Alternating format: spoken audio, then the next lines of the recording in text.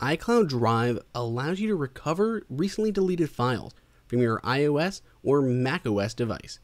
Welcome everyone, it is Andrew here from Apple Insider, and we're going to walk you through two different ways to recover recently deleted files that were stored in iCloud Drive.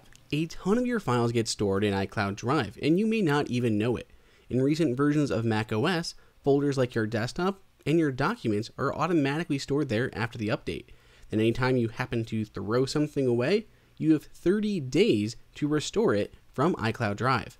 Many applications automatically store files in iCloud Drive, such as the popular Affinity Photo, Just Press Record, and the entire iWork suite. To restore files from your Mac, simply head to iCloud.com and sign in. Then tap on the gear icon to access the Settings web app. Inside of Settings, you're going to see a lot of information, but if you scroll down to the bottom and look in that lower left hand corner, you will see a option to restore files. Click on that and a new modal window will appear. It is from this window that you can restore any files that have been deleted within the last 30 days and restored on iCloud. You can sort them by tapping on that right hand corner and choosing date deleted, name, or file size.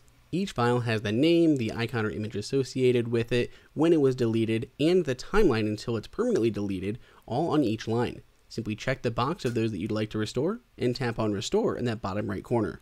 Depending on how many files and the size of those files, it can take iCloud definitely a while to actually restore those files, but once it does, they'll go back in their original location. You can also restore recently deleted files from the Files app on your iPhone or iPad, though it only seems to show certain files, specifically the ones that get deleted from your iOS device. So you can search through this list, you'll find a lot of the files that you already have on there and from different sources because the Files app does pull in from multiple locations, but it is pretty handy. So if there is a file that you recently deleted on your phone from the Files app, a lot of times you can get it back. iCloud's file restoration feature could definitely save your butt, but it should not be relied upon. Make sure you always back up your iOS and your macOS devices.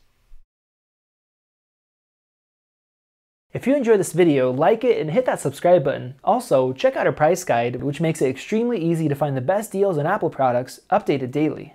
Be sure to follow us on social media and we'll see you in the next video.